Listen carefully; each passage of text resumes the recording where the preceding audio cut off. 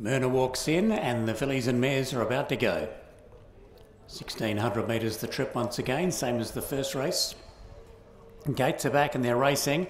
Winked from the inside was pulling into stride and Myrna went back also.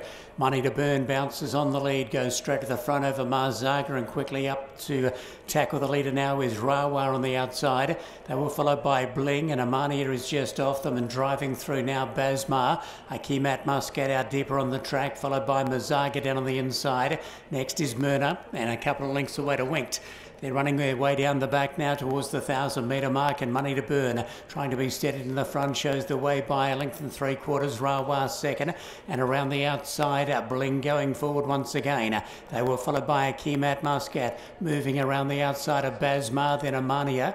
Uh, next of all, then is Myrna, just a shade wide, followed by Winked, who begins to improve, and Marzaga at the rear.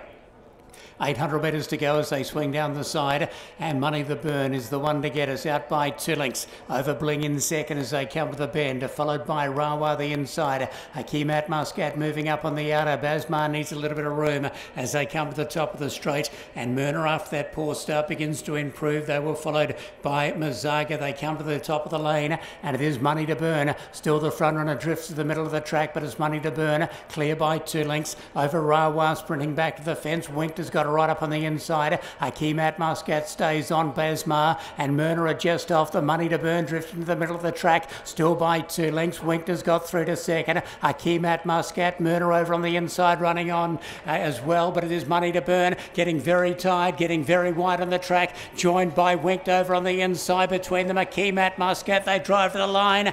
Winked Winked got its nose down to win from Akimat Muscat and Money to Burn, who may have thrown it away. They were followed by Basmar, and close up behind them is Myrna and Rawa. Stand by after the running of race number two, but Winked, who was dead last initially, looks to have just won from Akimat Muscat. And Money to Burn, who looked home and hosed at Meydan and looked pretty well the same here tonight, but somehow managed to uh, throw it away. Winked takes it out.